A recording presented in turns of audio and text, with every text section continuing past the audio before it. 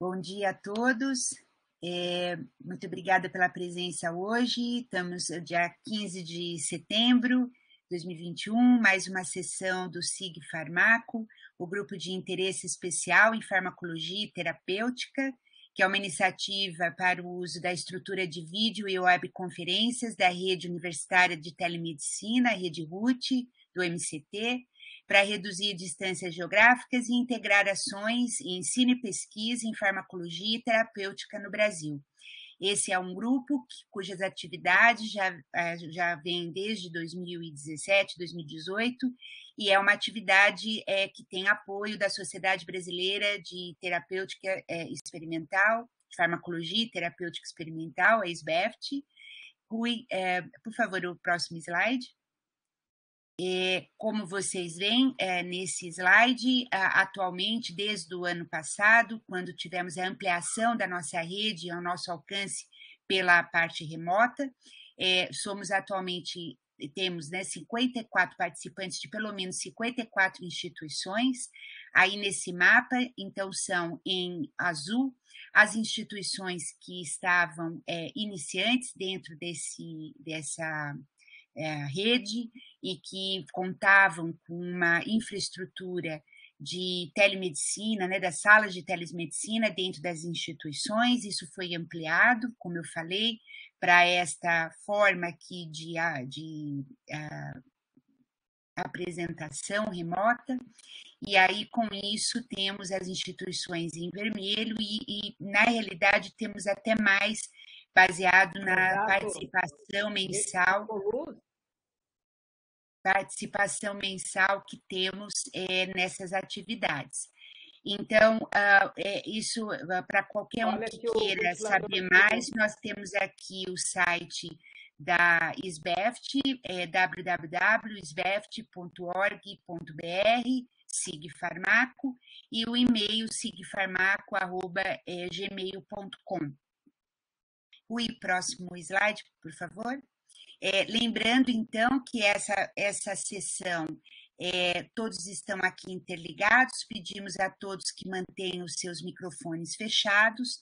É, haverá um momento é, de discussão, se é, autorizado e necessário, é, poderão abrir o, o, o, microfone para comentários, mas apenas na, no momento da discussão e autorizado pelo moderador. Próximo slide.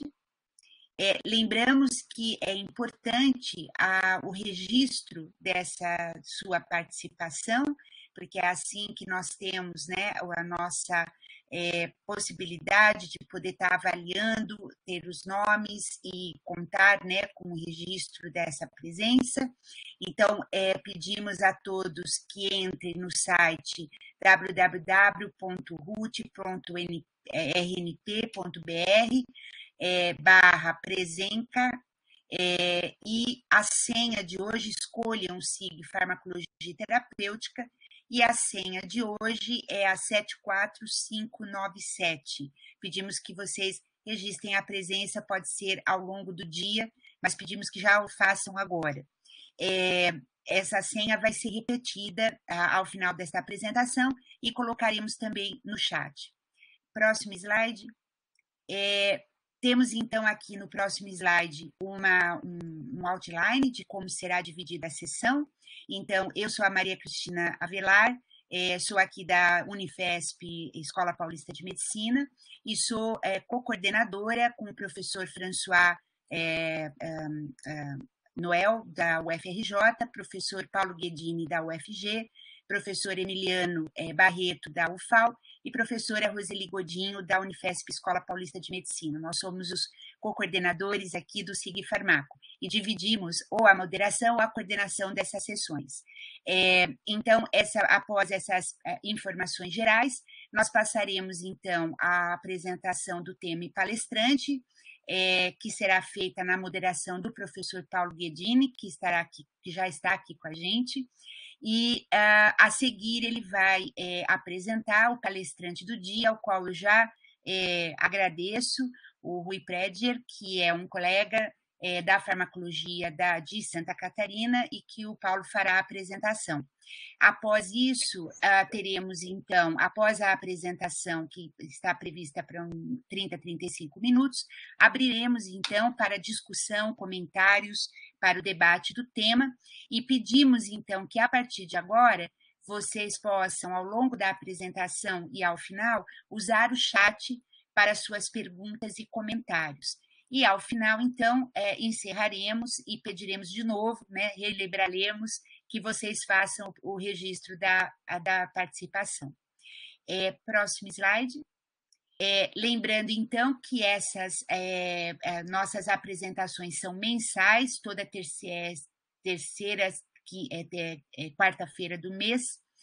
Ah, hoje nós temos, então, a, a, a palestra com o professor Rui Prediger, como eu falei, então eu peço agora, a partir de agora, que o colega Paulo Guedini assuma a moderação e possa fazer a condução dos trabalhos. Eu agradeço, já agradeço de novo, Rui, a sua colaboração, a sua participação e Paulo, com você. Obrigada. Obrigado, Cris. É... Bom, é, agradecendo então ao professor Rui, né, por estar aqui com a gente hoje para trazer fazer essa palestra, essa discussão conosco, né? É, o professor Rui ele possui graduação em farmácia pela Universidade Federal de Santa Catarina, mestrado, doutorado, pós-doutorado em farmacologia pela UFSC também, pós-doutorado no Centro de Neurociências da Faculdade de Medicina da Universidade de Coimbra, Portugal, é atualmente professor titular livre docente do Departamento de Farmacologia da Universidade Federal de Santa Catarina, membro afiliado da Academia Brasileira de Ciências e coordenador do programa de pós-graduação em farmacologia da Universidade Federal de Santa Catarina. Ele atua como orientador dos programas de pós-graduação em farmacologia, o acadêmico e o profissional, eh, também do programa de pós-graduação em neurociências da UFS é, tendo concluído a orientação de mais de 60 mestres, doutores e pós-doutores. É bolsista de produtividade nível 1 do CNPq e membro do colegiado deliberativo da Sociedade Brasileira de Farmacologia e Terapêutica Experimental, a SBEFT. Membro da Sociedade Brasileira de Neurociências e Comportamento, da International Brain Research Organization e da Society for Neuroscience Uh, autor de 10 capítulos de livros, 190 artigos científicos publicados em periódicos internacionais, com mais de 7.500 citações e um índice H de 56. Em 2020, também foi incluído na lista dos cientistas mais influentes do mundo, segundo o um estudo realizado pela Universidade de Stanford. É, atua como editor associado dos periódicos Journal of Alzheimer's Disease e Frontiers in Pharmacology e atua como revisor ad hoc para mais de 40 periódicos internacionais. É consultor científico da Associação Brasileira da Indústria de Café, é, Michael Fox Foundation e Alzheimer's Disease Association para pesquisas sobre as doenças de Parkinson e Alzheimer.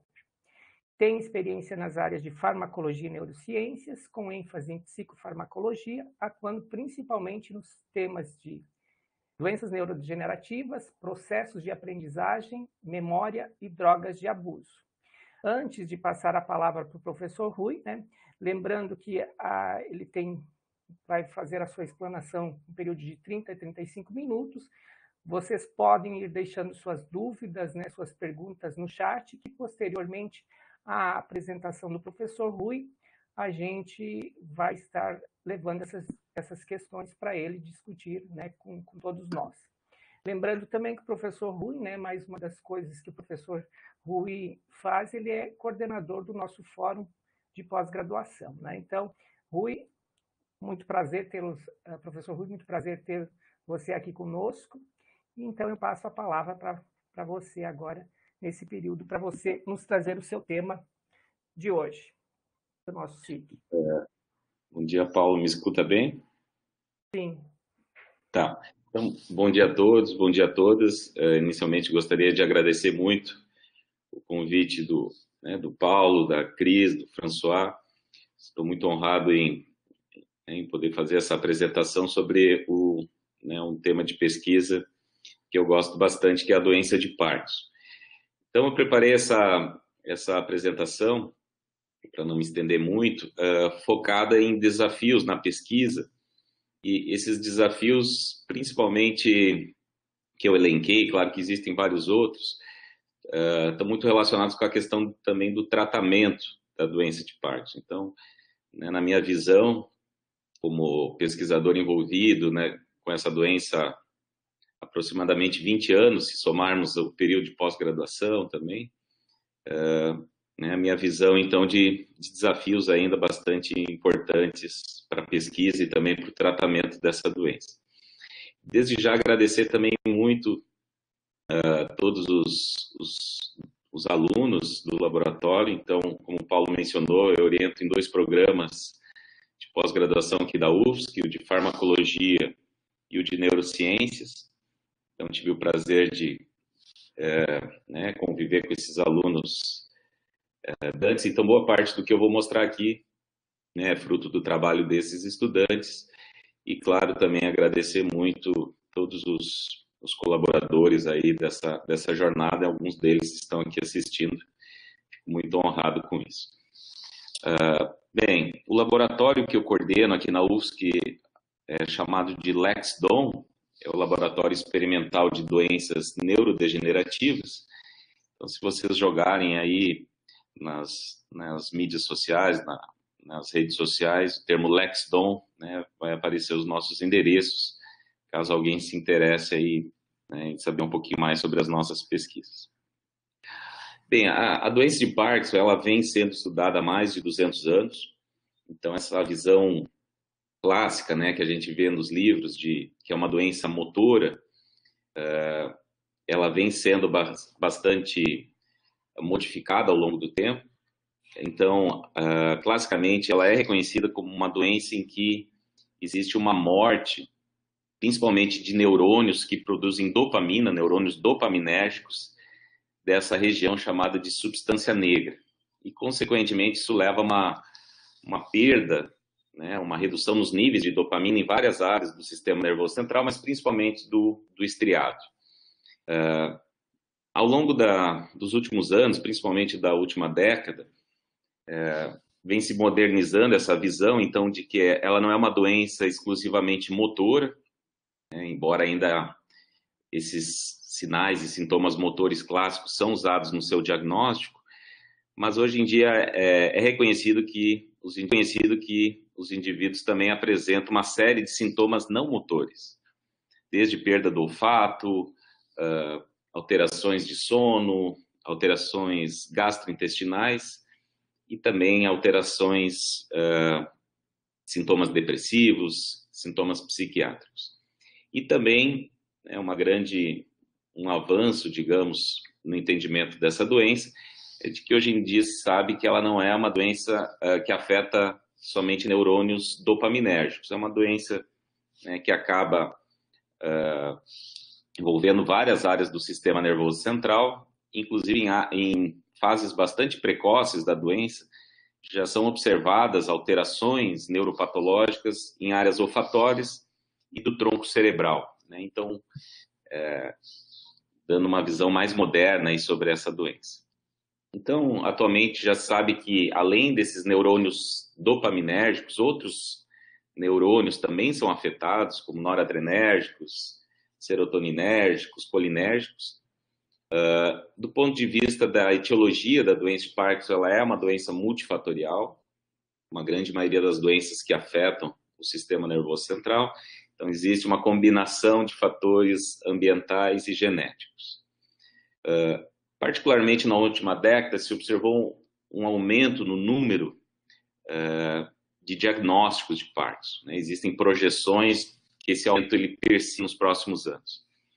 E aí, né, o entendimento desse, desse dado é que poderia ser uma combinação uh, tanto do envelhecimento da população, mas também eh, relacionado ao estilo de vida moderno, né, eh, fatores como alimentação, sedentarismo, poluição ambiental seriam alguns fatores que poderiam estar contribuindo para esse aumento de diagnósticos da doença de Parkinson.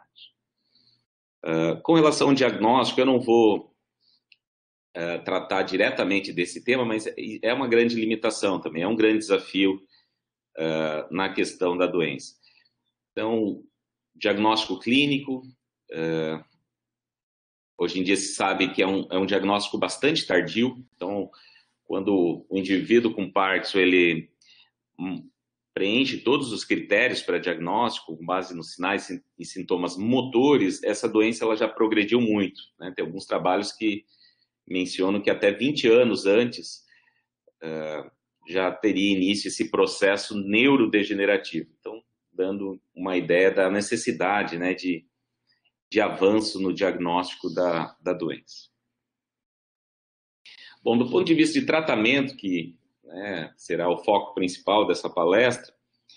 Uh, apesar desse avanço, então, no entendimento de que o Parkinson ele não é meramente uh, dopaminérgico, que existem né, vários sistemas de neurotransmissão uh, acometidos, do ponto de vista farmacológico, o, o, o foco segue né, num, num restabelecimento da neurotransmissão dopaminérgica. Então, desde a década de 60, então, nos, nos últimos 60 anos, né, a, a terapia farmacológica do Parkinson é focada na dopamina, seja principalmente através do uso da levodopa, que é o precursor da síntese de dopamina, uh, o uso de agonistas dos receptores dopaminérgicos ou inibidores das enzimas que degradam dopamina. Então, uh, a gente realmente precisa ainda um avanço do ponto de vista de arsenal terapêutico, olhando um pouquinho mais para esses é, outros sistemas de neurotransmissão.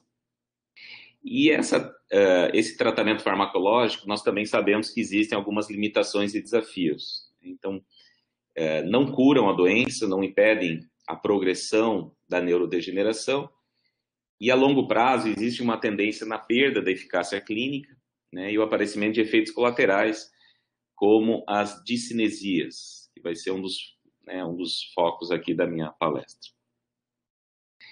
Então, entre tantos uh, desafios possíveis na pesquisa e no tratamento da doença, eu elenquei esses três para abordar hoje: questão da neuroproteção, dos sintomas não motores e o refinamento dos tratamentos uh, já disponíveis atualmente.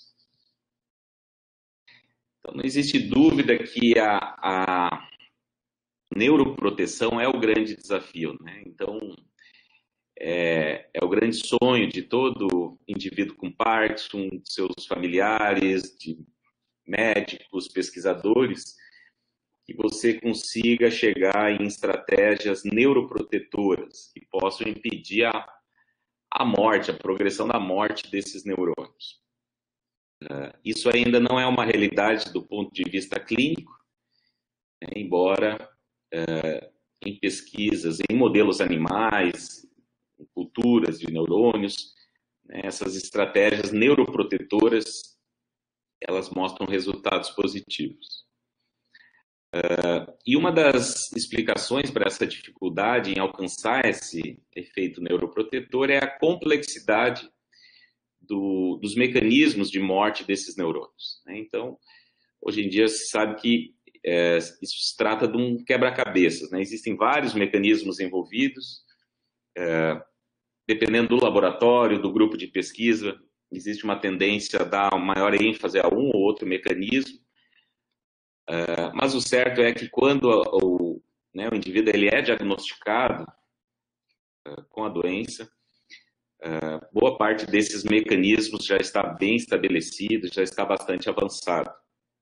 Né? Então, envolvem desde mecanismos de alteração de homeostase de cálcio, uh, problemas de formação e agregação de, de proteínas, como alfa-sinucleína, disfunção mitocondrial, estresse oxidativo, apoptose, neuroinflamação. Então, são mecanismos comuns, na verdade, de, né, das doenças neurodegenerativas. Se nós olharmos para outras doenças neurodegenerativas, como Alzheimer, Huntington, nós vamos observar que esses mecanismos de morte dos neurônios são bastante comuns. E, uh, pelo menos do ponto de vista clínico, né, a, a experiência tem mostrado que interferir individualmente com um desses mecanismos, não tem mostrado sucesso em se chegar nessa neuroproteção. Então, dando a ideia de que uh, né, provavelmente ou nós chegaríamos a compostos com efeitos pleiotrópicos, com vários mecanismos que atuem em vários alvos, ou talvez, inclusive, uh, né, seja necessário o uso de coquetéis, quer dizer, vários compostos atuando, atuando por mecanismos distintos, uh, talvez seja uma possibilidade uh, de tratamento futuro. Bom, só para dar um exemplo de alguns compostos com esse potencial neuroprotetor no Parkinson, né, que estão sendo bastante investigados, nessa tabela nós temos alguns deles, é, como a nicotina, o estrogênio, a melatonina, a cafeína. Como a gente pode observar, é, esses compostos, eles mostram efeitos neuroprotetores em modelos animais é, da doença. Alguns deles, né, pegando exemplo aqui, a cafeína, existem inclusive estudos epidemiológicos mostrando uma relação inversa entre o consumo de cafeína uh, e o desenvolvimento futuro da doença. Uh, entretanto, né, bom, aqui só né, mostrando que no nosso laboratório, no LexDom, nós também já contribuímos com essa literatura, mostrando né, alguns compostos com potencial neuroprotetor no Parkinson, desde a cafeína, a melatonina, estatinas, né, entre outros, como agmatina. Uh, mas aqui, então, fazendo uma, né, uma avaliação crítica, uh, quando esses compostos que funcionam nos modelos animais são uh, avaliados clinicamente, eles tendem a falhar. E uma das explicações para isso é que o que nós vemos na doença de Parkinson é, na verdade, a ponta né, de um iceberg ou seja, quando esse indivíduo ele é diagnosticado com base nos seus sinais e sintomas motores, o processo em si neurodegenerativo, né, aqueles mecanismos de neurodegeneração, eles já avançaram muito. Então, torna-se difícil uh, interferir né, ou reverter uh, esse quadro. E isso, então, né, uh, pode ser claramente observado quando nós olhamos os resultados dos trials clínicos buscando avaliar esse efeito neuroprotetor. Então, a grande maioria deles mostrando uh, efeitos negativos, uh, então, mostrando que esse ainda segue como um desafio né, na doença de Parkinson, chegar a esse composto, a essas estratégias neuroprotetoras em pacientes. E aqui uma visão pessoal, né, uh, de alguns desses desafios para chegar a esses uh, agentes neuroprotetores na doença. Então, uh, seguir, é necessário seguir avançando as pesquisas e o conhecimento sobre os mecanismos né, de neurodegeneração, como eles se relacionam, esses diferentes mecanismos, mas é fundamental um avanço no diagnóstico.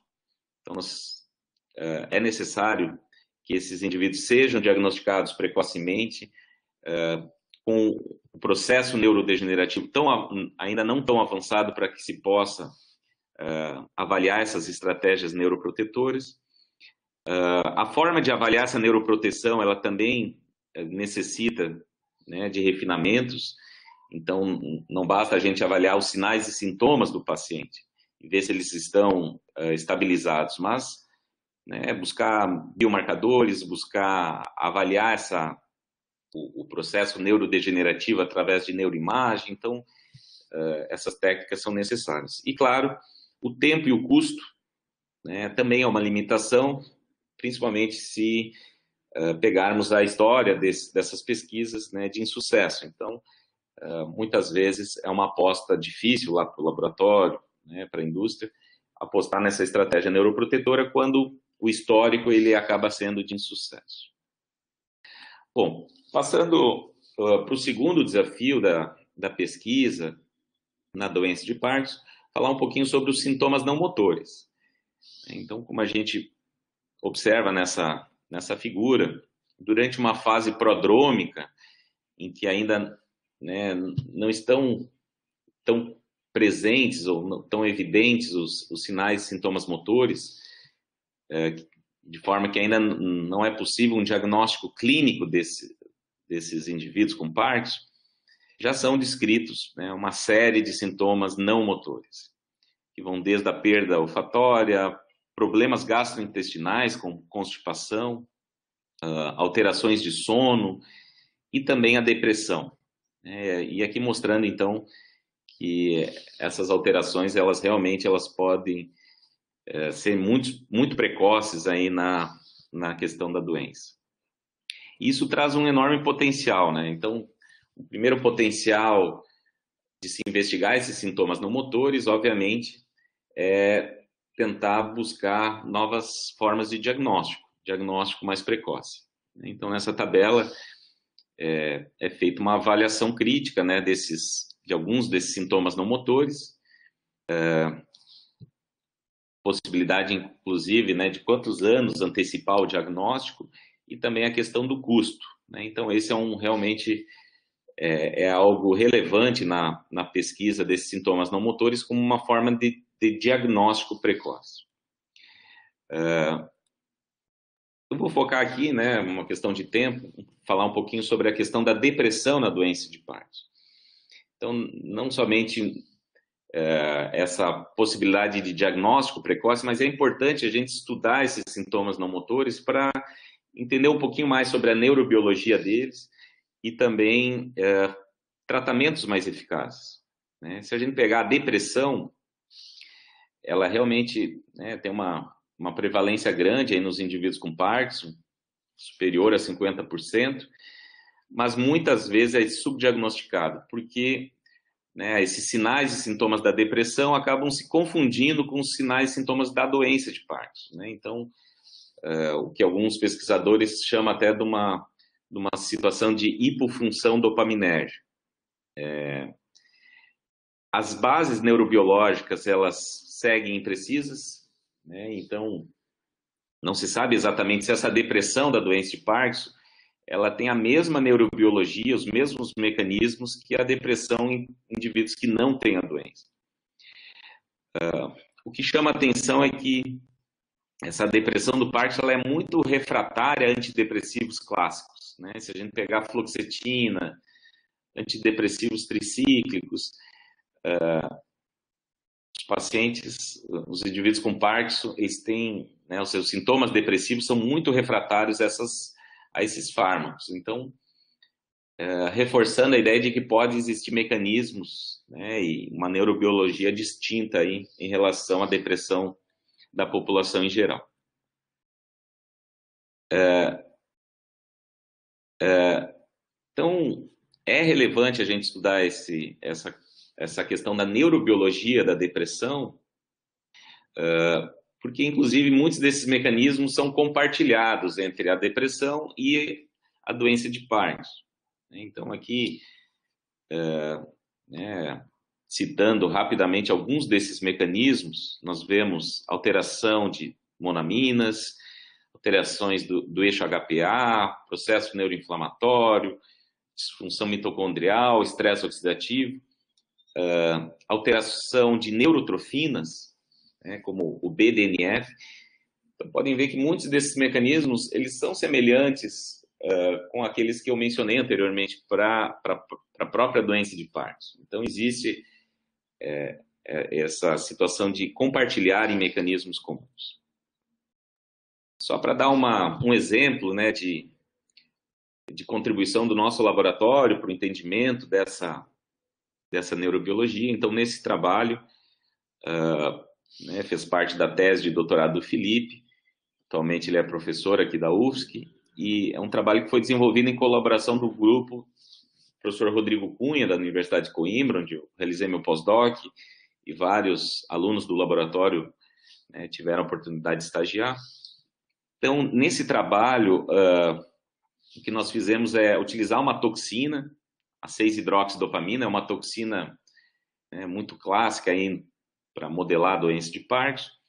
Uh, administramos ela diretamente na via nigroestriatal, nessa, né, nessa via dopaminérgica, só que utilizamos uma concentração baixa dessa toxina, de modo a ter uma, uma degeneração apenas parcial. Né? próximo a 50% desses neurônios. Então, é, utilizando essa estratégia, a gente observa que os animais não têm nenhum problema motor, então isso é importante, né? Então, é como se eles não tivessem ainda sendo diagnosticados, né? Eles não, eles não teriam nenhum sinal motor que levasse a um possível diagnóstico de Parkinson. Por outro lado, se a gente avalia é, os sintomas de anedonia, de depressão, já estão presentes nesses animais. Uh, então, a gente observou que em estágios bem iniciais do modelo, uma semana depois de induzir essa lesão, uh, a gente observou um aumento da sinalização uh, dopaminérgica no estriado. Então, isso é interessante, parece que, de alguma forma, como os neurônios estão morrendo, existe um mecanismo compensatório dessa região ela aumentar a quantidade de receptores para a dopamina e ficar mais sensível à dopamina. Então, isso a gente observa. Nesse momento, os animais já têm uh, sintomas, né, claro que entre aspas, de anedonia. Então, eles perdem cuidado de autolimpeza, eles perdem uh, a tendência em consumir uh, bebidas adocicadas. Então, né, o que a gente faz uma relação aí com a anedonia. em estágios um pouco mais tardios, um mês depois da, de induzir o modelo, nós vemos alterações bem marcantes no córtex pré-frontal, então numa outra área do sistema nervoso central, e aí é no sentido inverso, né, uma redução da sensibilidade à dopamina, e, e nesse momento os animais têm apresentam comportamentos do tipo depressivo, né? então mostrando que no decorrer uh, do avanço aqui da, do modelo, né, da doença no, nos animais, diferentes áreas vão sendo acometidas e isso uh, leva né, ao aparecimento desses sintomas de anedonia e depressão e ainda reforço sem nenhuma presença de sinais motores. Né? Então isso é relevante. Uh, bom, outro ponto que é importante na depressão é é, na doença de Parkinson, né, que é algo que é está sendo mais enfatizado recentemente, é a diferença entre homens e mulheres. Né. Então, classicamente, a gente sabe que homens né, apresentam uma maior prevalência, incidência da doença de Parkinson, mas se nós olharmos para os sintomas depressivos, de ansiedade, as mulheres com Parkinson têm mais né, apresenta uma maior prevalência desses sintomas. Isso, principalmente a literatura em modelos animais, é, né, não tem. Uh, né, são pouquíssimos trabalhos na literatura usando fêmeas para avaliar esses sintomas de depressão no Parkinson. Então, essa foi uma pergunta né, feita no nosso laboratório aqui, um trabalho da Marissa Chamne, é, durante seu doutorado. Atualmente, a Marissa ela ela faz, é, ela é professora na Universidade Estadual de Ponta Grossa. Foi um trabalho desenvolvido com, em colaboração com o grupo da professora uh, Laurence Lanfumé, uh, de Paris, que nós usamos um outro modelo animal da doença de Parkinson, que é o uso da toxina MPTP, num, num, modelo que desenvolvemos em nosso laboratório que consiste em administrar essa toxina por via intranasal. Né? Então, uh, avaliar as alterações que essa toxina por via intranasal pode causar. E a pergunta aqui do trabalho foi se machos e fêmeas né, teriam uma diferente uh, sensibilidade a desenvolver esses sintomas de anedonia e depressão, semelhante ao que a gente observa em humanos. É, e realmente, usando a mesma dose, o mesmo protocolo da toxina, uh, o que observamos é que as fêmeas realmente são mais sensíveis, tanto apresentarem essas alterações comportamentais, tipo NIA, e também né, do tipo depressivo, e explorando um pouquinho né, possíveis mecanismos que uh, estariam associados com essa diferença de sensibilidade, uma das coisas que observamos é que as fêmeas elas também apresentam uma maior redução nos níveis de neurotrofinas. Então, se olharmos para o BDNF, o GDNF, em diferentes áreas do sistema nervoso central, córtex pré-frontal, hipocampo, as fêmeas tratadas com a toxina têm uma maior redução. Então, mostrando, reforçando essa diferença comportamental que nós observamos entre machos e fêmeas. Na literatura, mesmo em humanos, já tem né, trabalhos que corroboram com essa nossa, os nossos achados. Então, na doença de Parkinson, é, é observada uma redução nos níveis de BDNF, e isso é mais evidente em indivíduos com Parkinson com depressão. E quando se faz o tratamento com antidepressivos, nesses indivíduos com Parkinson, você aumenta os níveis de, dessa neurotrofina. E esse estudo aqui de meta-análise, ele traz dados né, bastante interessantes que mostram que uh, essa depressão dos níveis de BDNF, elas, eles são mais observados em estudos que têm né, uma amostra uh, em que existem mais mulheres. Então, de novo, né, se a gente olhar para possíveis biomarcadores da doença de Parkinson, a gente tem que estar atento que talvez uh, serão biomarcadores diferentes para homens e mulheres com Parkinson. Né? Então, aqui o BDNF, aparentemente, ele tem é, né, uma maior relevância, inclusive, em mulheres com a doença de Parkinson. It's um, 11 o'clock now. Can you tell us when your last dose of Cinemat was? Bom, e para fechar os últimos cinco minutos aí da minha fala, para não me alongar, uh, o último desafio é essa questão do refinamento. Então, sem dúvida, uh, né, o tratamento com a levodopa, que surgiu na década de 60, 1960, revolucionou o tratamento uh, dos pacientes. Então, ele é um tratamento eficaz, uh, principalmente para os sinais e sintomas motores, mas uma grande limitação desse tratamento com levodopa são os efeitos colaterais. Né? Então, é, se sabe que, é, aqui eu vou enfatizar num dos efeitos colaterais, que são essas discinesias, né? Então, esses movimentos involuntários que surgem com o tratamento crônico com a levodopa. É, então, aproximadamente metade dos indivíduos que usam levodopa, depois de cinco anos, apresentam essas discinesias, e após 10 anos, né, aproximadamente 90% dos indivíduos têm algum nível de discinesia. Isso é variável também de paciente para paciente. E né, alguns fatores de risco aqui para desenvolvimento dessas discinesias é o avanço da neurodegeneração. Então, quanto mais a doença progrediu, maior o risco da levodopa gerar esse, essas discinesias. O uso de altas doses de levodopa e a questão da idade. Então, quanto mais jovem o paciente, né, também maior o risco dele ter uh, desenvolver essas discinesias mais uh, severas. Do ponto de vista de mecanismos dessas discinesias, o entendimento é de que são mecanismos de neuroplasticidade. Né? Então, muitos desses mecanismos, inclusive, é, são compartilhados com processos de aprendizado e memória. Né? Então, tem muitos é, pesquisadores que fazem essa relação, que a levodopa ela ativa circuitos né, de plasticidade semelhantes a de um processo de aprendizado e memória. Então, são alterações duradouras no nosso cérebro. É, isso é interessante porque mesmo se você retira a levodopa por algum tempo, faz um washout de levodopa no paciente, se depois você retoma esse tratamento com levodopa, rapidamente as discinesias voltam. Então, mostrando que é uma, né, uma, uma alteração no sistema nervoso central de longo prazo. Isso envolve tantos mecanismos uh, diretamente relacionado com receptores para dopamina, mas também outros sistemas de neurotransmissão, como o glutamato. Então, atualmente, o, né, o antidicinético que é usado na clínica é a mantadina, o, o, que justamente bloqueia receptores NMDA para glutamato. Então, de alguma forma, bloquear a neurotransmissão glutamatérgica parece ser um mecanismo de controle.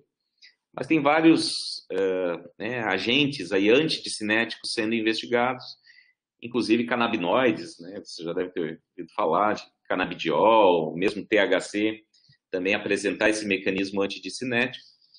E aqui o que eu vou mostrar é um, né, um, um agente antidicinético não farmacológico, que seria o exercício físico. Então, o nosso grupo foi um dos pioneiros em mostrar isso, que né, foram pesquisas desenvolvidas, iniciadas pelo, pelo Aderbal Aguiar durante seu doutorado no meu laboratório, atualmente o Aderbal também é professor aqui da UFSC, tem o seu grupo de pesquisa na área de, de, de exercício físico. E o que o Aderbal mostrou é que é, em modelos animais de parto, é, se junto com o tratamento com a levodopa, os animais eles fazem exercício físico, no caso aqui, no protocolo que ele usou, são exercícios em rodas de correr, embora o exercício ele não tenha nenhum efeito neuroprotetor direto, ou seja, a morte dos neurônios é a mesma, mas os animais eles não desenvolvem as discinesias. Então, mostrando que o exercício teria um efeito antidicinético. E o mesmo observado aqui, né, com outro protocolo de exercício, agora em esteiras de correr, uh, pela Annelise Speck, né, coincidência, a esposa do, do Aderbal e também fez o doutorado no laboratório.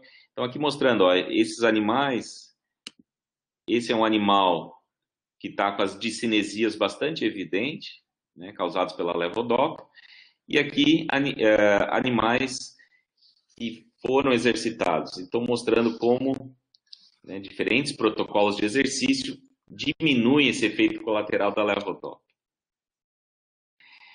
Bom, tentando investigar um pouquinho mecanismos pela qual o exercício teria esse efeito antidicinético. Né? A gente observou que, novamente, existe um envolvimento de neurotrofinas. Né? Então, o exercício, através de estimular essas neurotrofinas, no caso aqui o GDNF, promoveu esse efeito. E um efeito bem marcante do exercício é que ele interfere com essa com essa plasticidade sináptica que ocorre no estriado. Então, é bem conhecido que é, durante a discinesia existe uma hipersensibilidade, né, um aumento da excitabilidade no estriado. E o que o exercício faz é diminuir um pouco isso, né, diminuir essa hiperexcitabilidade que está ocorrendo aí. É, isso pode contribuir para esse efeito antidicinético. E para fechar, então, né, mostrando que isso, de novo, tem uma importância translacional, então, nesse trabalho, foi mostrado que um protocolo de exercício durante seis meses em humanos com a doença de Parkinson, e o exercício ele era capaz tanto de diminuir esses níveis de discinesias causados pela levodopa, também bem importante, permitiam que a dose diária de levodopa fosse reduzida. Então, o exercício ele pode ter é, esse benefício de melhorar a eficácia do tratamento farmacológico. Então, ser um refinamento aí para o tratamento. Então, encerro aqui com, a, né, com, as minhas conclusões e perspectivas. Uh, uh, bom, no aspecto da neuroproteção, sem dúvida, é, segue sendo um grande desafio e é necessário esse avanço, então, do, né, das pesquisas, do conhecimento sobre os mecanismos de neurodegeneração, uh, se existe alguns que são mais importantes como gatilhos, outros como né, em fases mais avançadas, mas óbvio que existe também a necessidade de refinar né, tanto os, os, estudos clínicos quanto os modelos uh, animais. Né? Então, essa conversa aí ela tem que ser melhorada para a gente conseguir chegar, melhorar esse aspecto translacional na doença de Parkinson. Os sintomas não motores, eles, então o estudo deles é muito relevante, deve seguir, a gente deve cada vez reconhecer mais isso, uh, tanto nessa tentativa de conseguir um diagnóstico mais precoce, mas também pelo estudo da neurobiologia, de novos tratamentos, uh, de diferenças que existem entre homens e mulheres. Então, por todas essas razões, é, é, é muito desafiador né, e, e, relevante avaliar esses sintomas não motores. E, por fim, claro, seguir nesses estudos que, nessa tentativa de refinar tratamentos que já existem. Então, se nós conseguirmos melhorar a eficácia, prolongar o efeito da levodopa, diminuir os efeitos colaterais dela ou de outras medicações que já existem no mercado, isso também é, um, é algo bastante relevante. Bom, encerro aqui, Paulo, uh, né, agradecendo né, os colaboradores, a minha a rede de colaboração do nosso laboratório. Então, felizmente, é, a gente tem muitos colaboradores no Brasil, uh, tanto em vários departamentos, no Hospital Universitário aqui da UFSC, mas também em Ribeirão Preto, Ponta Grossa, Rio de Janeiro, vários outros, né? Belém do Pará. Uh, grupos internacionais nosso laboratório colabora e que sempre né, abrem as portas dos, né, dos seus laboratórios para os nossos estudantes. Isso também é, é muito importante. E, óbvio, as agências de fomento. E essa, então, é a nossa né, última imagem aqui, reforçando os nossos contatos e, principalmente, agradecendo né, muito os estudantes. Né? Então, esse é atual o time na verdade, essa foto já precisa de uma nova atualização, né? então, mas esse é o time atual aqui do laboratório e, e realmente é sempre muito uh, gratificante, né, uh, esse contato com os estudantes que na prática são eles que desenvolvem essa, o, o trabalho uh, experimental. Então encerro aqui, Paulo, te devolvo a palavra. Obrigado, Rui, pela belíssima apresentação. As, as dúvidas e, e, questões já estão chegando no chat, todos ah, agradecendo a palestra, dizendo que foi muito proveitosa. Antes de, de, passar para as primeiras perguntas, eu gostaria de lembrar a todos para que registrem as suas presenças né, nesta sessão do SIG, né, acessando o www.rut.rnp.br barra presença, sem o cedilha, informando o CPF e o e-mail e selecionando SIG Farmacologia Terapêutica com a senha 74597. O registro de, de presenças é muito importante né, no, para a gente é, mostrar né, e para a gente evidenciar junto à rede RUT a, a, participação e a importância desse SIG nesse sistema. É, as perguntas estão chegando, vocês podem colocando elas aqui no chat e a gente vai por ordem, então, levando elas para o professor Rui. É, Rui, tem a primeira pergunta aqui do Éricles, e ele agradece a palestra, né? E ele gostaria de perguntar: a doença de Parkinson atua em diversas vias e possui vários sintomas além dos motores. Na sua opinião, qual modelo animal com as toxinas MPTP e 6-hidroxidopamina representa melhor as características da doença de Parkinson? E se seria mais interessante promover a administração delas diretamente no cérebro ou se se consegue alcançar uma boa proximidade utilizando outras vias. Bom, eh, obrigado, Eric. Excelente pergunta. É, sempre quando a gente vai avaliar modelos animais, eu, eu, costumo passar isso, né? É uma visão pessoal, mas é, é, é, é, é, sempre importante, antes de falar o que é bom, o que é ruim, o que é melhor, né? A gente tem sempre essa tendência de fazer um ranking. E, na minha visão, o, o que depende muito é a sua pergunta, né? Qual o seu objetivo com a sua pesquisa? É, então, eu brinco que se a gente olhar do ponto de vista uh, né, de validade preditiva, ou seja, o, o que de fato que é, né, em modelos animais chegou na clínica e funciona, a reserpina seria um modelo ótimo, né, porque é um, é um modelo que o Carson usou lá na década de 50 e chegou ao desenvolvimento da levodopa.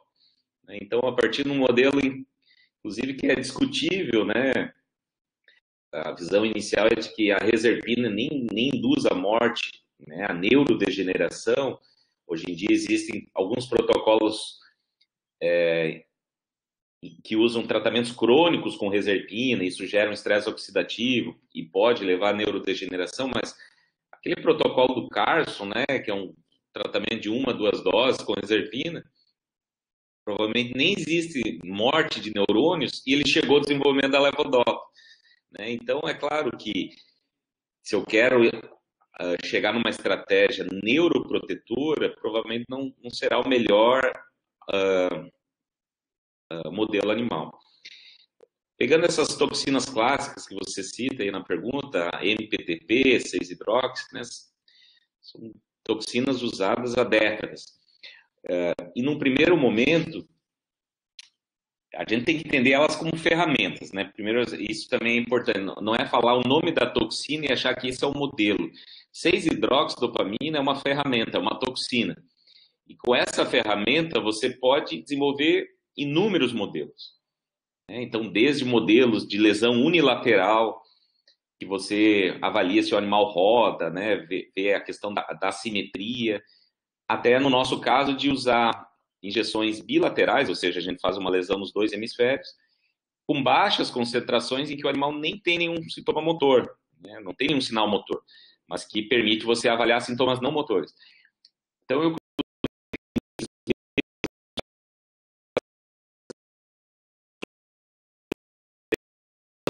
ou os animais morriam, ou eles tinham toda a sintomatologia lá, motora, né, de 90%, 95% de degeneração dopaminérgica. Isso não tem nenhum, nenhuma relação com doença de Parkinson, né, porque como é que a gente vai estudar um mecanismo que está acontecendo tão rapidamente? A doença não é assim. Né? Então, o refinamento do uso dessas toxinas levou justamente a isso. Bom, eu vou reduzir a dose da toxina, vou usar protocolos mais crônicos. Então, entendendo que essas alterações vão, vão ocorrendo de maneira mais lenta, gradual. Né? Não é um processo que uma semana é, né, você vai induzir 90% de degeneração. Provavelmente esses mecanismos não têm uma relação direta com o parto. É, e uma coisa que eu acho bem importante, e ainda são poucos grupos que fazem, claro, às vezes até uma limitação da ferramenta, é tentar unir um pouco mais a genética e as toxinas. Né? Esses, muitas vezes esses grupos você tem o um grupo da genética, que usa é, modelos genéticos de Parkinson, e né, o pessoal que usa as toxinas. E a gente vê pouca conversa, né? É, eu tive essa oportunidade, alguns anos atrás, de usar animais nocautes para parquina, que é um modelo genético da doença, e testar esse nosso modelo do, do MPTP intranasal. Então, tentar fazer um link entre fator ambiental e fator genético. Né?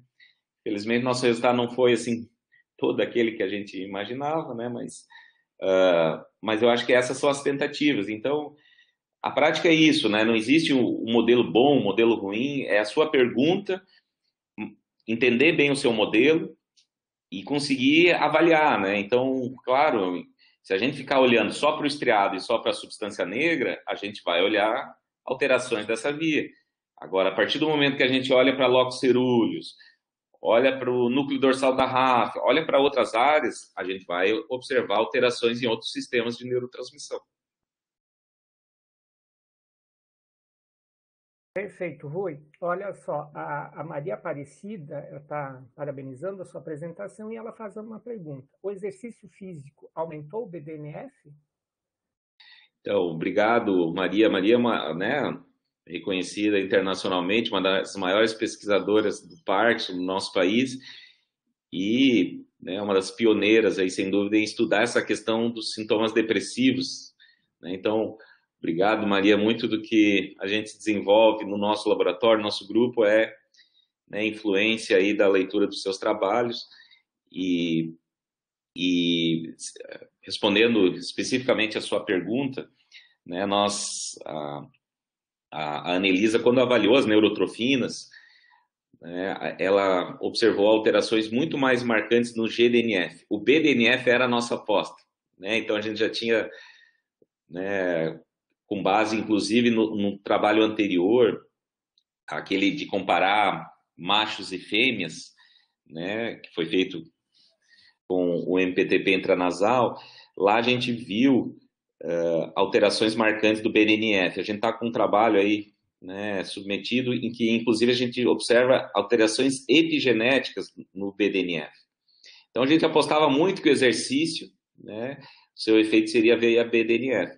Talvez tenha sido uma limitação de ferramentas, né, de, uh, mas o, no nosso caso, a gente não viu nesse estudo do exercício físico alterações tão tão claras no BDNF e sim do GDNF, né? Mas de maneira alguma eu excluo é, a possibilidade do envolvimento dessa neurotrofina. Né? Então, sem dúvida, a gente tem que seguir pesquisando. É, é uma aposta né, muito muito promissora, sem dúvida.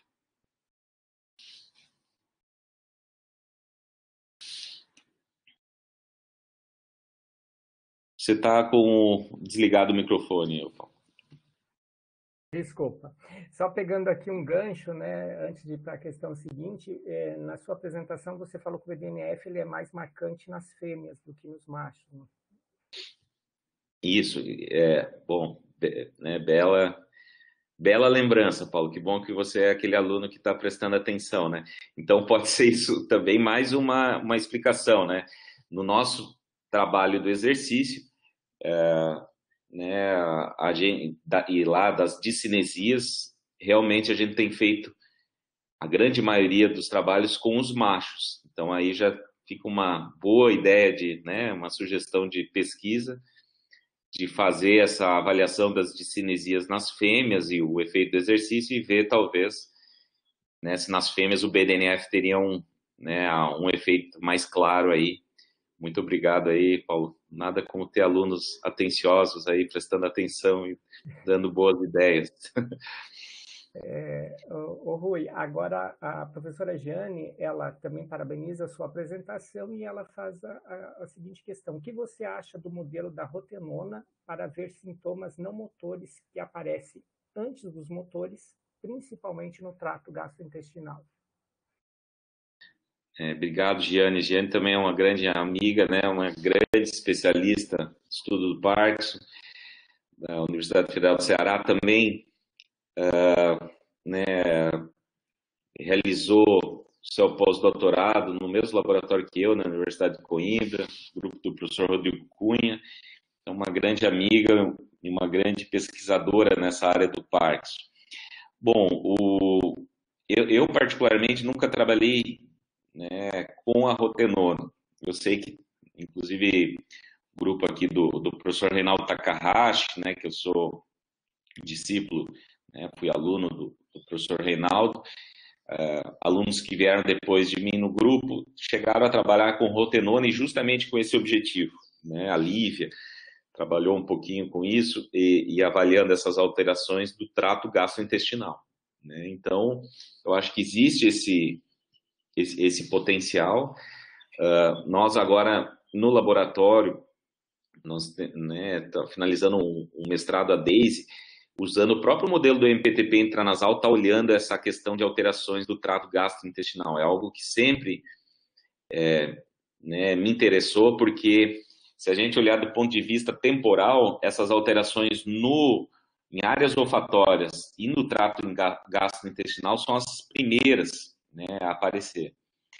E dão essa ideia de possível via de entrada no organismo de toxinas. Né? Eu estava mencionando isso para o Paulo antes da palestra, quer dizer, é, possivelmente esses contaminantes ambientais, como agrotóxicos, toxinas, né, metais, eles poderiam entrar por via intranasal ou via alimentação, via trato gastrointestinal e ascender para o sistema nervoso central.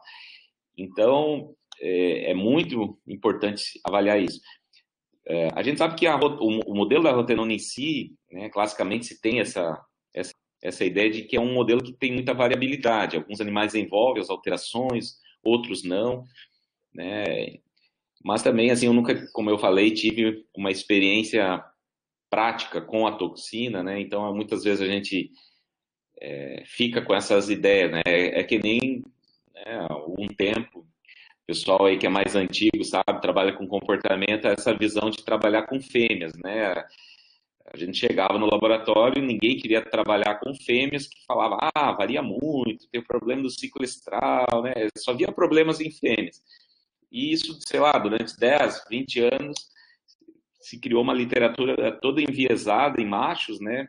Com, com essa visão. E hoje em dia, no laboratório, eu até menciono isso né, com frequência, a gente vê uma variabilidade até às vezes menor nas fêmeas do que nos machos. Né? Então, assim, é, é, talvez essa visão que eu tenho da rotenona pode ser também enviesada, né?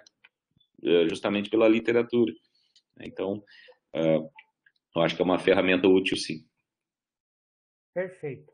A, a Ariadne, ela pergunta, também parabeniza a sua apresentação e ela gostaria de saber se vocês observaram alteração, alterações de neurotrofinas no hipocampo após o experimento com a atividade física.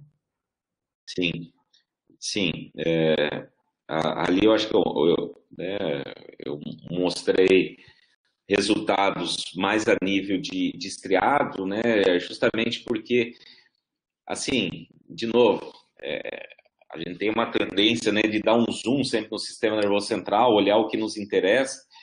É, quando a gente está olhando ali a questão de, de, de cinesia, a gente olha muito para essas alterações nos núcleos da base. Uh, por isso que com levodopa, com discinesias, uh, em, em, que a gente viu o efeito antidiscinético do exercício, a gente acaba focando muito nessas áreas. Mas sim, é, né, nós observamos um aumento de neurotrofinas é, no hipocampo e a gente sabe né, que tem uma, uma literatura muito robusta, né, mostrando que o exercício físico ele tem esse potencial, inclusive como antidepressivo, né, quer dizer, a gente, inclusive, nesse período de pandemia, isso ficou bastante evidente, né, assim, o aumento de casos de depressão, claro que isso, de novo, é, é né, não existe um único fator, é multifatorial, mas a, a, própria questão do aumento do sedentarismo, ele contribui para isso. Né? Então, a gente sabe que o exercício físico ele tem esse impacto sobre o humor e esse potencial antidepressivo. Então, uh, isso a gente viu no, nos nossos protocolos de exercício físico, sim. Ok. Ok. O, o, o André, né, o professor André, que é o nosso presidente da SBEFT aqui, ele está falando o seguinte: fantástico trabalho, Rui.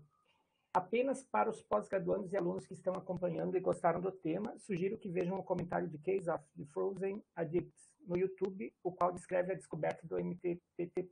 MTPT. Então, aqui um, uma dica do, do André aqui para todos que têm interesse. Né? É, é muito, muito legal. É, aquela história, né, André? A gente costuma uh, motivar os alunos, etc., contando algumas historinhas, e essa do MPTP ela é fantástica. Né? Então, o, essa toxina que a gente usa no laboratório, administra por via intranasal, para quem não conhece, né, lá na década de 80, se descobriram casos na Califórnia de indivíduos que usavam heroína e que desenvolveram um parkinsonismo né, agudo, assim, imediato. E ao avaliar essa heroína, se detectou que existia como um contaminante CMPTP. E na sequência, então, essa toxina ela foi sendo administrada para primatas não humanos, roedores. Então, eu, é interessante a gente pensar que ela segue um caminho todo inverso né, da pesquisa, que normalmente a gente diz, ah, não, eu tenho que estudar no modelo animal para depois testar no humano. A descoberta da toxina ela foi feita em humanos. E depois a caracterização como modelo de Parkinson né, em, em, animais é que veio na sequência. Então, é, bem lembrado esse documentário aí, do, né, é muito bom mesmo. Perfeito. A professora Graça, que é Maria das Graças, está parabenizando a atividade e o professor Obrigado, Felipe, né, diz assim, como sempre, brilhante sua apresentação, Rui, tanto a palestra quanto suas pesquisas. Foi uma honra estar revendo você aqui. E ele quer te perguntar sobre o comportamento depressivo no modelo que vocês estudaram, se foi revertido pelos antidepressivos convencionais e se já há alguma coisa com a ketamina na depressão do Parkinson. Bom, o Felipe é um, né, um dos maiores amigos que eu tive ao longo da pós-graduação. Trabalhamos muito, muitas tardes, muitas manhãs, né, fazendo water maze juntos, labirinto aquático, né, discutindo ciência. Então, foi meu colega de pós-graduação, cientista brilhante, uma grande pessoa. E, né, é, tua pergunta é muito, muito relevante aqui. Uh, embora a gente está num estágio muito mais nessa questão do, dos sintomas depressivos, né, nos modelos animais de estudar a neurobiologia, muito mais do que o tratamento. Uh, é, no, no, nosso caso, né, principalmente nesse modelo com a 6-hidroxidopamina, na tese do, do Felipe, a gente avaliou alguns antidepressivos. Uh, ele acaba respondendo à fluoxetina também, né? Então isso né, mostra que, claro que existem uh, envolvimento de outros mecanismos, como da própria serotonina, mas o que nos chama bastante atenção, e isso tem uma relação é, com a parte clínica, é que você reverte né, esse efeito, esse efeito né, tipo depressivo aí dos animais com agonistas dopaminérgicos. Né? Então, como o pramipexol. Então, uh, agonistas dopaminérgicos não são antidepressivos clássicos. Né? Então, na população em geral, né, tirando aí buspirona, né? Alguma, são pouquíssimos, e a gente sabe que a buspirona tem um efeito antidepressivo bastante limitado também, mas a gente não tem, assim, drogas antidepressivas com mecanismos dopaminérgicos, né? Ainda mais agonistas. Mas, inclusive em pacientes, né, e, e também em modelos animais, aparentemente ativar receptores dopaminérgicos consegue trazer um alívio para esses sintomas depressivos. Então, mais uma vez, mostrando que essa neurobiologia do, dos sintomas depressivos pode ser um pouquinho diferente da população em geral, né? E talvez uh, fármacos, né, que no desenvolvimento falharam aí em ter um bom efeito antidepressivo na população, talvez funcionem, né? Funcionem em alguma doença específica, no caso aqui o Parkinson. Uh, teria que dar uma olhada com a cetamina, né? Muito legal essa essa eu acompanho bastante cetamina, principalmente essa questão agora de tratamento intranasal com cetamina, né, que foi recentemente aprovado. Então, eu tenho muito interesse em, em testar a cetamina intranasal nesses nossos modelos. A gente ainda não fez, né, e ver como é que, né, como é que seria o, o efeito. Uh, por outro lado, a gente tem efeitos já bem né, documentados com com a agmatina. Né? Então, a agmatina, embora tenha vários mecanismos, né, efeitos pleiotrópicos, a gente sabe que um dos mecanismos é justamente bloqueio de receptores NMDA. Então, tem um mecanismo glutamatérgico compartilhado aí com cetamina. Então, e, e, a agmatina ela tem um excelente efeito antidepressivo nos nossos modelos. Né? Então, é, eu realmente tenho muito interesse e nunca fiz isso, né, mas em avaliar a cetamina, particularmente de maneira intranasal nos nossos modelos, né, e ver como é que ela, ela responde aí. Mas são cenas aí dos próximos capítulos, né. Obrigado, Felipe, por estar aí e um grande abraço. A professora Silvana, ela te manda um abraço e ela diz que a sua apresentação está muito boa e parabéns pelos resultados obtidos em seus trabalhos. Muito obrigado, Silvana, também né, uma grande pesquisadora, sempre acompanho seus trabalhos, é, né, via, via o Jason também, já assisti né, suas palestras, parabéns também você pelo seu trabalho. Aí o Adalberto, ele, ele te pergunta, parabeniza a organização, a sua palestra, é, diz que as discussões são muito necessárias, e ele pergunta quais as estratégias de proteção que os familiares de pacientes com Parkinson devem adotar para evitar uma possível doença. É, o Adalberto foi, né, foi co-orientador de seu doutorado, grande amigo, também estagiou fez doutorado sanduíche na Universidade de Coimbra, né, foi o orientador principal foi a professora Carla Tasca, aqui na Bioquímica da UFSC, é, é professor também e atualmente estudante de medicina, né, não sei como é que o Adalberto faz tanta coisa ao mesmo tempo, né, então, eu acho que além de pesquisar, ele quer tratar agora os indivíduos com parte, muito legal, Adalberto. Uh, bom, e essa tua pergunta é a pergunta de um milhão, né, eu espero que você no futuro aí, como né, cientista e médico da área, possa nos ajudar, né, uh, Quer dizer, hoje em dia, tirando raros, raríssimos casos de doença de Parkinson familiar, em que você poderia ter um diagnóstico genético precoce, né, é, é muito difícil né, você ficar testando uh, esses potenciais neuroprotetores. Né, e o máximo que você vai ter são esses é, é, esses estudos epidemiológicos que eu mencionei, né, com, com, cafeína, com outros compostos que mostram essa relação inversa, é, uma possibilidade em impedir o desenvolvimento ou reduzir o risco né, de desenvolver a doença.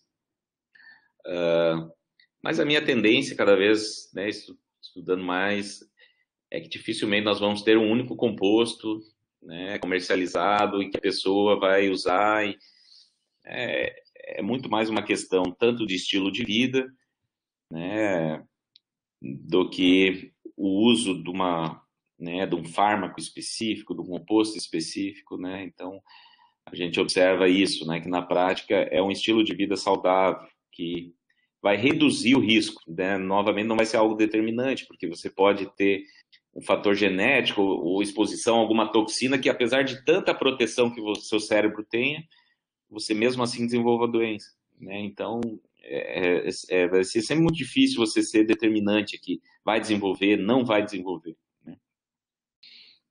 Espero que você aí, né, no futuro, uh, tendo esse contato com os pacientes, vamos aí nisso também, né? O Rui, a professora Aparecida aqui, dizendo que você é sempre muito gentil, tá? E o uhum. Vinícius, ele uh, parabeniza a sua apresentação e ele tem uma dúvida que ele teve durante a sua apresentação e não lembra ter visto uh, estudos. É possível avaliar os mecanismos do efeito on-off da levodopa em animais? Sim. Uh, é, normalmente, quando a gente avalia uh, a gente avalia nos nossos roedores as discinesias, as discinesias têm várias formas clínicas, né? O, o, que a gente usa em modelos animais, que é mais comum, é um tipo de discinesia que a gente fala de pico de dose, né? Você eh, dá levodopa de, depois de já induzir o modelo, dá levodopa e cerca de 30, 40 minutos depois ele tem um pico de discinesia, né? Que vai durar uma hora, mais ou menos. Então, a discinesia é mais fácil de você avaliar no modelo animal, porque você já sabe exatamente quando ela vai aparecer. O on-off, né, é, ele é um, um efeito colateral da levodopa, mas que ele já é um pouco mais imprevisível.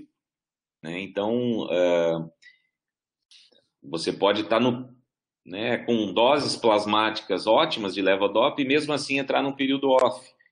Né? Então, uh, mas isso também é, pode ser avaliado, então, né, é, se avalia tanto em roedores, quando, uh, em primatas não humanos, né, quando você está desenvolvendo novos tratamentos, etc., você, uh, você pode avaliar esses, essa flutuação on-off. Né? Então, isso é interessante. Né?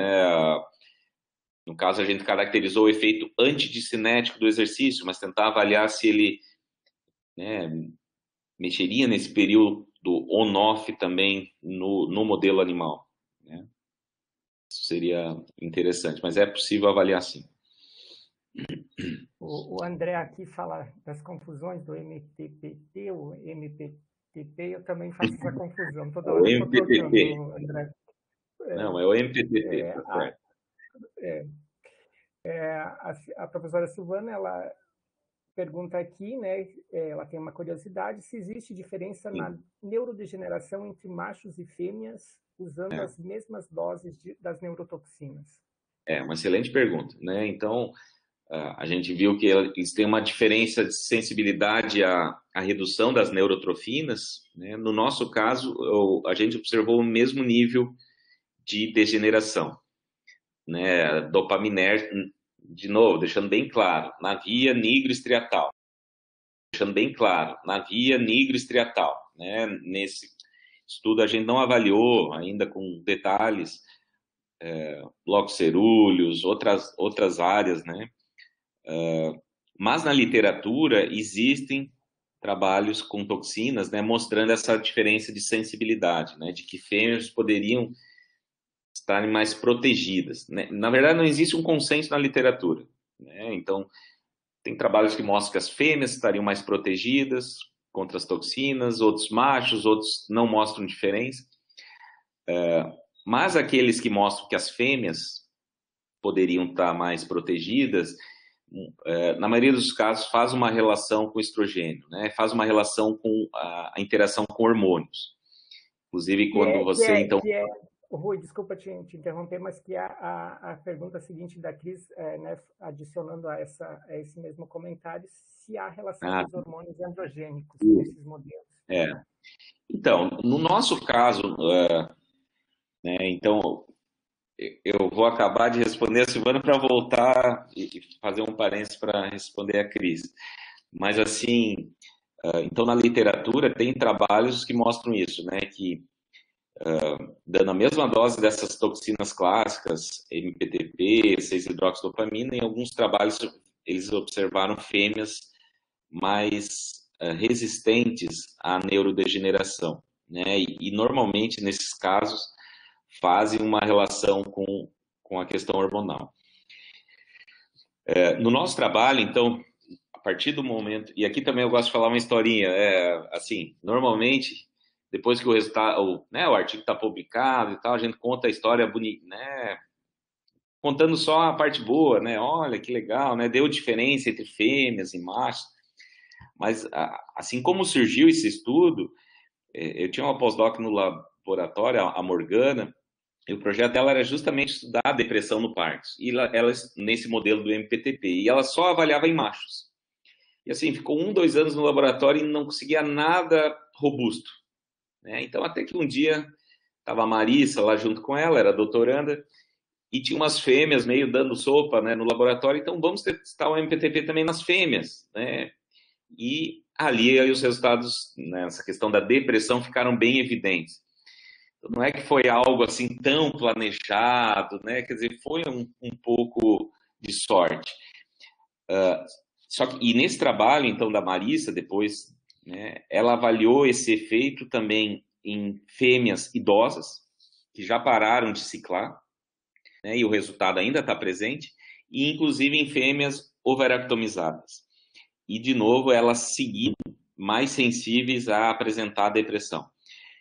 Então, uh, claro que sempre quando a gente olha uma diferença entre macho e fêmea, a nossa né, primeira hipótese é que seja uma relação hormonal, mas no nosso estudo, particularmente para esses sintomas né, depressivos com MPTP intranasal, uh, aparentemente existem outras explicações além da parte hormonal. Né? Então, fêmeas idosas seguem sensíveis uh, overectomizadas seguem supersensíveis a, a, a esses sintomas depressivos do modelo.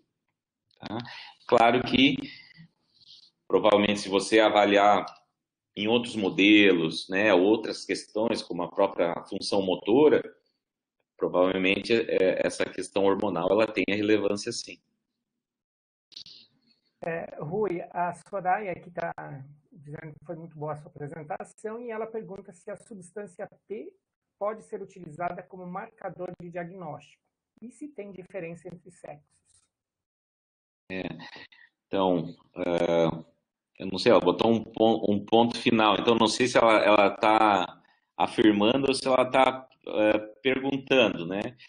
Uh, assim, a substância P, é, né, a gente eu tenho contato com essas pesquisas desde a época do Felipe, aqui no, né, na UFSC, com a professora Tereza. Uh, sempre né, me interessei por essa, por essa parte de neuropeptídeos e eu, uh, né, eu acho que eles têm um potencial. Uh, confesso que, assim, nos últimos anos, eu não acompanhei como tem seguido essa questão da substância P como biomarcador, né? Eu teria que dar uma, dar uma olhada nisso se existe esse, esse potencial. Uh, né, talvez o Felipe mesmo que está aí, a, a Elaine, né, que são, eu sei, pessoas que né, trabalham bastante com essa questão da substância P, sejam até mais gabaritadas que eu para te responder, Soraya. Né? Mas, ah, ela ah tá, ela está perguntando. É. Ah, é, então, infelizmente, eu vou ficar né, te devendo um pouco nisso, né, com a relação dessa diferença também entre machos, fêmeas, vou dar uma olhadinha nisso aí para né, ficar mais por dentro. O François, ele está dizendo que foi muito boa a avaliação do estado da arte em Parkinson, muito didático, parabéns pela apresentação e os trabalhos. E a professora Obrigado. Alexandra também está parabenizando e pergunta como está o uso de canabinoides, canabidiol para o tratamento de sinais motores e não motores do Parkinson. É, essa é uma, né, uma linha assim que já vem de alguns anos e, e uh, a gente né, observa um, um, avanço nisso no, no Brasil, né, com essa, digamos, maior é, flexibilidade né, da legislação, etc., ao, ao uso de, de compostos canabinoides. Né? Então, quem pesquisa essa área, eu nunca fui um especialista em canabinoides, embora venha de um laboratório que tem esse perfil, né? O professor Reinaldo Takahashi foi aluno do professor Carlini, então tem todo esse histórico de canabinoides, né? E, e vários meus, dos meus colegas de laboratório lá no né, Fabrício Pamplona, Rafael, então tem vários colegas que sempre pesquisaram muito a, a questão dos canabinoides. Uh, por coincidência agora, né, é, depois do professor Reinaldo já aposentado, eu, eu tenho uma doutoranda, né, a Ana, que, em que justamente a gente está fazendo estudo clínico com canabinoides, né, uma combinação de canabidiol e THC em pacientes com Parkinson. Né, isso é um projeto em colaboração com o professor Francis Ney Nascimento, lá da Unila, e, e assim, quer dizer, não vou avançar muito, né, na, são resultados ainda não publicados, etc., mas do nosso projeto especificamente, mas existe esse potencial sem dúvida, né, então Uh, eu vejo potencial em, várias, em, em, vários dessas, desses desafios do Parkinson, tanto do aspecto de neuroproteção, né? então a gente sabe que o sistema canabinoide ele interfere com muitos desses uh, mecanismos de neurodegeneração, né? desde glutamatérgicos, passando por uh, neuroinflamatório, uh, até a questão mesmo de refinamento do tratamento atual. Né? Então, uh, né, tem trabalhos aí muito interessantes mostrando também efeito antidicinético de canabinoides. Né? Então, você tratar com baixas doses canabinoides junto com a levodopa, aparentemente você tem essa possibilidade também de refinamento do tratamento atual. Então, é, é, isso é muito interessante. Alguns dados da ANA mostram também esse potencial sobre os sintomas não motores. Né? A gente tem uma tendência de olhar, ah, canabinoides vão gerar déficits cognitivos, etc. É, mas a gente está sempre falando aqui, é importante enfatizar em microdoses, né? São doses muito baixas, né? E, inclusive, então a gente tem alguns resultados aí promissores tanto na questão cognitiva, mas também uh, mesmo na questão de dor dos pacientes com Parkinson, né? Então, existe um potencial muito grande, sim. Já estamos nos encaminhando para a finalização desta sessão, né? Enquanto a gente vai apresentar mais alguns comentários que tem, tem aqui no chat, é, Rui, se você puder já colocando nos slides mais para deixar projetado aqui, né? É, a, a Cris, ela diz que é muito interessante, né, sua, suas colocações, e ela lembra que as fêmeas ovariatomizadas ou em idade avançada, o diferencial entre queda de estrogênios, porém com aumento de derivados androgênicos. Interessante pensar né, nessa correlação. Ah, muito bem, muito bem lembrado, Cris. Excelente. É, bom, é, estamos chegando ao nosso fim, né? É, antes de, de passar para a Cris, que vai finalizar essa sessão, é, Rui, sobre o Parkinson precoce, que é uma coisa que a gente sabe que existe e que é muito pouco divulgado, né? O que você tem a falar sobre a incidência no Parkinson precoce? Porque muitas vezes a gente relaciona com a idade avançada e a gente sabe que há uma certa incidência significativa em pessoas jovens. Né? O que você poderia colocar a respeito disso, né, para a gente também ter essa noção que ela não é tão senil assim quanto, quanto a gente imagina. É, bem lembrado, quer dizer, embora né, classicamente assim, a partir dos 60, 70 anos é, é que vai aumentar muito os casos da doença, existem né, uh, casos precoces, indivíduos 30, 40 anos já com toda né, a manifestação clínica. Uh, e na, na, grande maioria desses casos, né, Paulo, existe uma contribuição genética importante. Né? Então, uh, é muito comum, né, quando você tem indivíduos tão jovens aí com, né, assim, com toda a sintomatologia, todo o quadro clínico já presente, uma forte predisposição genética. E, e aí esses casos, inclusive, assim, eles têm toda uma evolução distinta, né? A, questão como respondem a levodopa, a questão da, das manifestações dos sintomas não motores, inclusive, né? Então, nem sempre a, a até a questão da, das alterações olfatórias, gastrointestinais, então é uma, uma evolução assim, né, muitas vezes distinta dessa dessa doença de Parkinson idiopática ali, né, que é muito mais comum ali ser observada em idades mais avançadas. Mas bem lembrado, né, isso existe. E, e do ponto de vista de modelos animais, a gente tem muita limitação nisso, né? Quer dizer, uh, estudar particularmente esses casos são é, muitas vezes com, com esses modelos genéticos aí que realmente que vão ser utilizados. Ok, agradeço imensamente a sua, a, a, sua palestra, a sua discussão, os seus esclarecimentos, Rui, muito, foi uma palestra, uma sessão muito proveitosa, é, todo mundo te Obrigado. parabenizando, todos aqui parabenizando, né?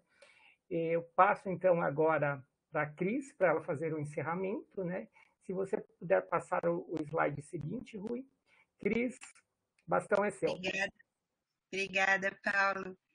Mais uma vez, obrigada, Rui, foi excelente. Então, em nome do grupo Sig Farmaco, em nome da rede é, RUT, então a gente agradece essa participação, agradecer ao Paulo também, que está aqui moderando essa sessão. E, e só para finalizar, então, lembrar que é, todas essas sessões da, da que, que ocorrem mensalmente, elas estão sendo postadas é, são disponibilizados os vídeos gravados, né? Então, aqueles que queiram voltar em outras apresentações e esta, que em alguns dias já estará lá, é só ir na, no endereço que está postado aí no, no slide e os, os vídeos, então, estão lá. Então a gente convida todos, né? Normalmente demora umas 24, 48 horas, às vezes um pouquinho a mais, mas o vídeo estará lá. Então, é, se tiver colegas, convidem para estar tá indo lá na página e a gente sempre vai estar tá aí, porque são aulas assim, Rui, que, que é bom, porque a gente volta né, e consegue é, fazer essas é, sugestões, né, principalmente como professores colocaram aqui no chat, há muitas questões, às vezes, que são básicas, né, e ao mesmo tempo também saber os caminhos das nossas pesquisas, né, é, dos nossos farmacologistas neste país. Então, obrigada, Rui, obrigada, Paulo. É, próximo slide, a gente tem um, de novo a, a tabela com a, as nossas apresentações. Então, só para lembrá-los, é, a nossa próxima sessão está prevista para o dia 20 de outubro. É, o palestrante vai ser o nosso colega Enilton Camargo, que é da Universidade Federal de Sergipe. A sessão vai ser moderada pelo professor Emiliano Barreto, da UFAL, e coordenado pelo professor é, François Noel. E o tema será prospectando substâncias naturais e sintéticas para aplicação biomédica.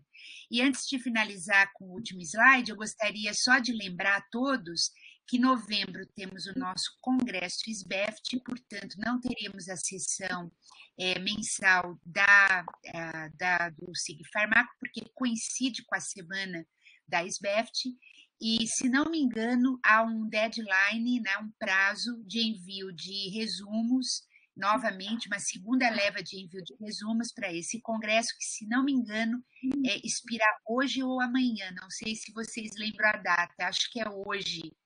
Mas aqueles que estão aqui na audiência que ainda têm interesse, acho que ainda há tempo.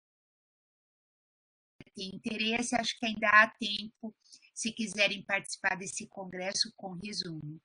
É, no próximo slide, é, Rui, por favor. Só para finalizar, Lembrando a todos, então, a agradecer a presença, a participação de todos, excelentes perguntas, é isso que dá dinamismo e que enriquece essas apresentações, né, a participação de todos, e pedir que todos vão nesse endereço, rutrnpbr, barra presença, é, é, acione o SIG Farmacologia e Terapêutica, e a senha da reunião de hoje 74597. Então, a gente pede para que todos lembrem de ir lá e registrar a presença. Então, mais uma vez, obrigada, obrigada a todos, obrigada, Paulo Rui, e encerramos mais uma sessão.